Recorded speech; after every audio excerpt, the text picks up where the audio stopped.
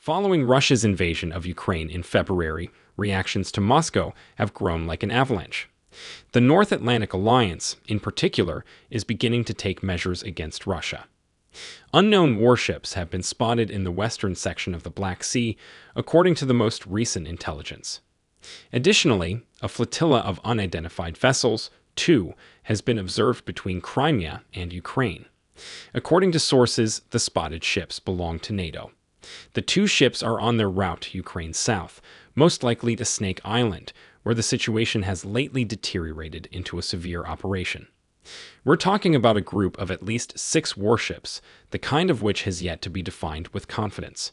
Among them is at least one battleship, although its type is yet to be declared. While the latest movement of these ships in the vicinity was recorded on May 23rd, their specific position is unclear at the moment. No official statements have been made about the appearance of ships in the western part of the Black Sea. However, it is noteworthy that the day before the active reconnaissance of NATO aircraft, the organization had announced that it would send a large number of warships to the region and was planning a large exercise. The United States Army used warplanes to patrol regions near the Russian border.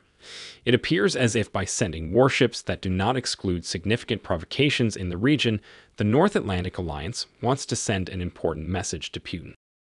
Another important thing that happened was that the Russian cruiser Admiral Makarov has also started operations in the Black Sea. The ship was damaged and taken into maintenance last month at the Sevastopol port shipyard after it was attacked by Ukrainian Manpad missiles in the Odessa port region. The US and NATO nations have been providing guns, ammunition, and other military supplies to Ukraine. Since the first day of the invasion attempt on February 24th, Poland has established a transit channel for these transfers, as well as a lifeline for Ukraine to stop the Russian army's advances.